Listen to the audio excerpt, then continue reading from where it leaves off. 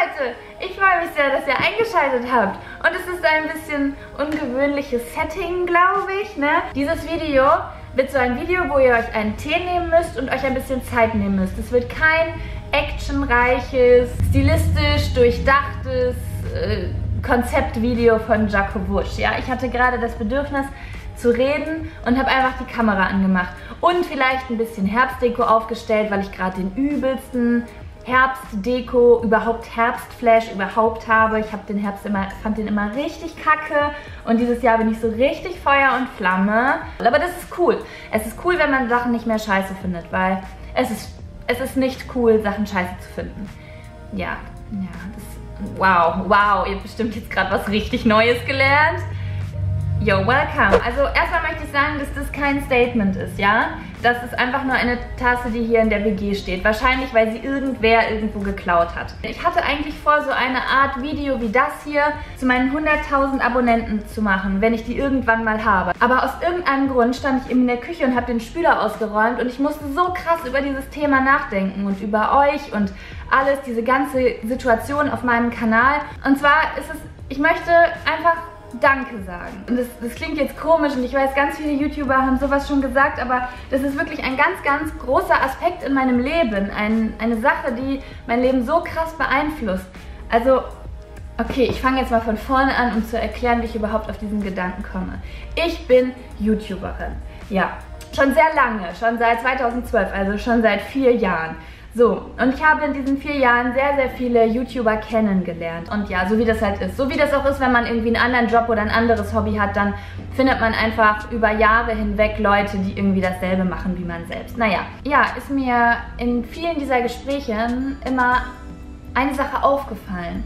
Nicht bei allen, nicht bei allen äh, YouTubern, aber bei vielen. Dass sie sagen, dass sie manchmal traurig sind, dass sie nicht so sein können, wie sie wirklich sind. Oder, oder in anderen Zusammenhängen, dass sie gern dieses und jene Sache umsetzen würden oder diese und jene Sponsoren mit ins, ins Boot holen würden oder ja, gewisse Dinge gerne kommunizieren würden, aber oder einen gewissen Humor transportieren würden, aber das einfach nicht geht weil YouTube-Zuschauer sowas nicht sehen wollen. Es ist einfach so krass, was ich manchmal woanders höre, wie viele YouTuber, die wirklich, die ich für richtig schlau halte und cool und nett, solche Probleme haben mit ihren Zuschauern, Verurteilungen, Pauschalisierungen und ich habe das einfach nicht. Ich habe das nicht. Klar habe ich bestimmt ein paar Arschlöcher dabei, bestimmt auch jetzt gerade gucken vier, fünf Arschlöcher zu. Das kann sehr gut sein, wenn ich das so sagen darf. Sei mal ruhig da hinten. Ich nehme das Mann zurück. Es war die Pipa Pipo. Und die darf, die darf immer klingeln, weil die sehr cool ist. Wenn ihr sie nicht kennt, dann solltet ihr sie kennen. Ich verlinke sie in meiner Infobox. Auf jeden Fall ähm, wollte ich euch einfach mal sagen, ich weiß, wie ihr in der Masse wirkt. Und ich glaube, dass ich so viele coole Menschen um mich herum gesammelt habe, weil ich mich getraut habe, so zu sein, wie ich wirklich bin, das zu sagen, was ich wirklich denke und parallel niemals ein Hype um mich entstanden ist. Ganz viele Leute wünschen sich auf YouTube immer einen Hype. Das bedeutet, dass sie voll krasse Kollaborationen machen und hochgezogen werden. Es hat natürlich alles seine Vorteile. Man verdient eine Menge mehr Kohle, man hat eine Menge mehr Aufmerksamkeit. Ich glaube, wenige würden da Nein sagen. Ich weiß nicht mal, ob ich da Nein sagen würde. Das kann ich jetzt gar nicht sagen, wenn mir jemand das so hinhalten würde. Ähm, würde man es vielleicht schon probieren. Ich habe halt einen Vorteil darum, dass ich halt organisch gewachsen bin. Es sind nur Leute auf meinem Kanal kleben geblieben, die halt wirklich mich mögen und das cool finden, was ich mache. Und das ist einfach so cool. Mann, ich habe das Gefühl, ich erzähle voll die langweiligen Sachen, aber ich wollte das einfach mal sagen, wie cool ihr seid so. Also jetzt zum Beispiel mal so als Beispiel. Ich habe mal mit anderen YouTubern, Live with Sandy und Benny, äh, die haben ein Zuschauertreffen gemacht und ich habe so ein, zwei Stunden vorher gesagt, dass ich dann auch da bin. Und dann sind zum Beispiel zwei Zuschauerinnen von mir ähm, gekommen, ja, die ich hier ganz lieb grüße. Und es war einfach so cool, weil ich weiß nicht, es ist, man merkt diese, also das waren halt einfach zwei Mädchen, mit denen das könnten meine Freundinnen sein, wisst ihr? So, die waren einfach richtig cool. Die waren nett, die waren höflich, die waren lustig, sie hatten bunte Haare. Sie, sie hätten einfach, ja, wir hätten ein, wir könnten eine Girl Group zusammen eröffnen. Und dann denke ich an Tim, der mir jeden Tag bei Snapchat irgendwas erzählt und mir coole Serientipps gibt und mir von seiner neuen Haar Geschichte erzählt oder Zuschauer aus dem Wittekind-Gymnasium, die mir, die mir Snaps aus dem Unterricht mit meinem ehemaligen Pädagogiklehrer Herr Meise schicken. Es ist halt, es ist, macht einfach Spaß, es ist cool und ich möchte einfach, dass ihr das wisst, weil ihr seid mittlerweile so viele. Ey, Leute, wir sind jetzt 83.000 Menschen. Ich meine, die gucken ja nicht alle zu, man hat ja nie so viele Klicks wie, ne? Aber ihr müsst euch vorstellen, was natürlich auch für eine Masse an Nachrichten dann eintrudelt. Und man kann nicht jedem einzeln sagen, wie cool er ist. Und ich möchte einfach, dass ihr das wisst. So, außerdem haben wir Ende des Jahres und da sagt man nette Sachen. Weil das macht gute Energie. Ja.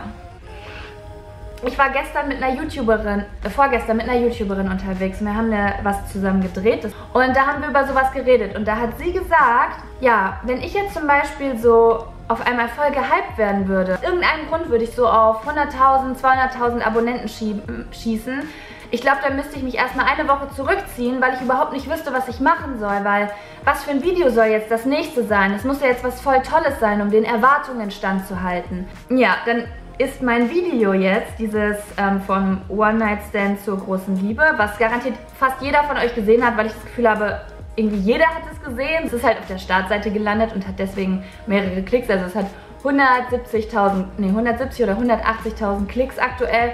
Und äh, normalerweise hat ein Video bei mir durchschnittlich 20.000 Klicks. Also es ist, ne, wesentlich besser geklickt. Also dann kamen halt ganz viele neue Abonnenten dazu. Hallo übrigens. Und ich habe sofort Druck gespürt und habe gedacht, was soll ich denn jetzt veröffentlichen? Es muss jetzt was voll krasses sein.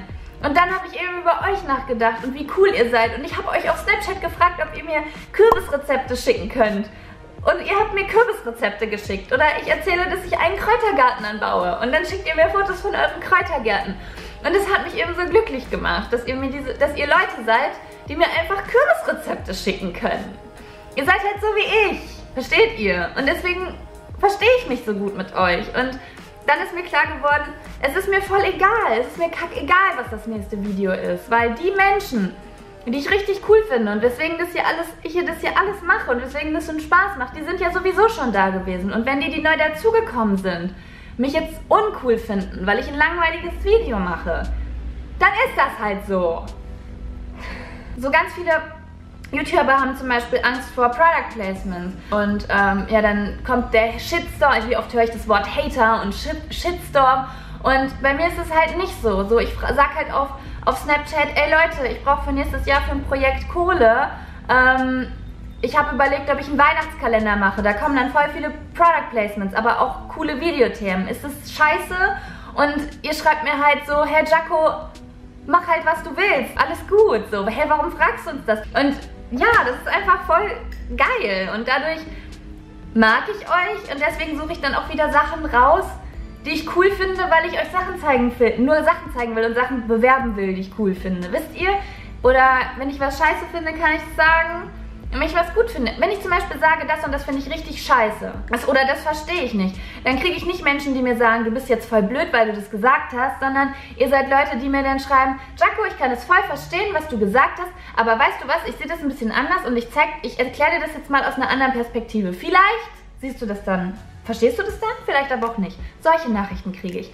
Wenn ich in meinen Videos irgendeine Kosmetik zeige, die keine Ahnung, das ist jetzt nur ein Beispiel, das, das gab es einmal in der Vergangenheit, die an Tieren getestet wurde. Meine Zuschauer wissen, das ist mir schon irgendwie wichtig, auf sowas zu achten, aber ich habe viele Sachen nicht auf dem Schirm. Gerade letztens im Urlaub habe ich ein voll geiles, schönes Tagebuch gekauft. Und dann komme ich nach Hause und mein Freund sagt zu mir, hä, ist, es, ist der Umband nicht aus Leder? Und ich habe nicht drüber nachgedacht. Ich bin ein Mensch mit Fehlern, ja? Und ganz viele Leute werden immer so geschitstormt im Internet. Ihr macht es aber nicht. Ihr sagt mir, Jaco, Okay, Jaco, ich muss dir jetzt was sagen. Ich habe dein neues Video gesehen. Ich habe gesehen, dass du den und den Eyeliner gehabt hast. Der ist von der und der Marke und der gehört zu dem, der und dem Konzern. Und die machen richtig fiese Sachen mit Tieren. Der und der Kajal, den habe ich mir stattdessen gekauft oder Eyeliner, was weiß ich was. Probier den mal aus. Das macht mich glücklich. Versteht ihr das? Ihr seid tolerant, ihr seid verständnisvoll, ihr seid cool, ihr seid schlau. Ich mache mir gerade selbst Komplimente, ne, weil ich eben gesagt habe, ihr seid so wie ich. So ist es nicht gemeint. Ich will damit nur sagen, wir sind auf einer Wellenlänge, so kann man das sagen. Und das ist sehr, sehr cool. Ja. Ich glaube, ich habe alles gesagt. Ja, ich weiß, ich weiß nicht, ob dieses Video jetzt total überflüssig war, aber es, es ist für mein Herz wichtig irgendwie. Es ist wichtig für mich zu sagen. Und auch wenn es langweilig ist, man muss auch einfach mal sich hinsetzen und einfach mal sagen, was man denkt. Ja, es kann nicht immer Action Jackson sein. Und ich begrüße alle neuen Menschen. Ich hatte übrigens ganz doll Angst vor der Startseite und ich habe nur vier richtig fiese Kommentare bekommen von 8 oder 900. Richtig krasser Shit, oder? Ganz im Ernst, das, also eine bessere Quote gibt es ja wohl nicht. Ja, ich habe sie gelöscht. Was sagt man nicht im Internet, ne? Sowas macht man nur heimlich. Ja, ich, ich lasse halt keine Beleidigung stehen. Wenn jemand sagt, du behinderte Fotze hast dich vögeln lassen, du bist ein Stück Scheiße, dann lasse ich das nicht stehen. Sowas hat unter meinen Videos nicht zu suchen. Dann können jetzt Leute sagen, das, das ist Meinungsfreiheit. Ich sage, das ist dann ein Kanal mit Arschlochfreiheit. Ihr könnt mich auch, man darf sich auch mal zur Eigenwerbung trauen. Ihr dürft mich auch mal auf Instagram und Snapchat besuchen. Das sind Plattformen, wo sowas öfter vorkommt. Bei Instagram verfasse ich meine möchte gern lieben Texte und auf Snapchat, ja, da habe ich euch einfach gerne dabei. Da könnt ihr mir dann auch, vielleicht wisst ihr ein Kürbisrezept und möchtet es mir schicken. Gut. Ich danke, dass ihr zugeschaut habt. Ihr seid süß, ihr seid klein, ihr seid klein, klein, klein. Kleine, süße Würmchen in Türmchen und Hasen in Vasen und Schnecken in Ecken und Mäuse in Häusern. Ma ein, eine Maus in einem Haus. Macht's gut. Tschüssi!